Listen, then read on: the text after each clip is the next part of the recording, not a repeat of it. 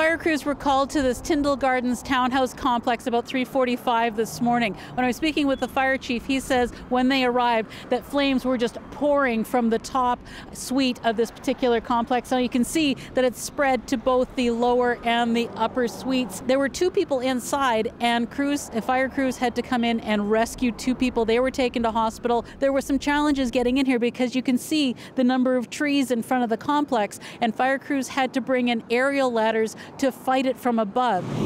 Keewatin was closed for several hours while they fought the fire. They reopened it, and then there was smoke found to be in another suite, and so fire crews had to return to the scene to work on it. The cause is under investigation. Meaghan Ketcheson, CBC News, Winnipeg.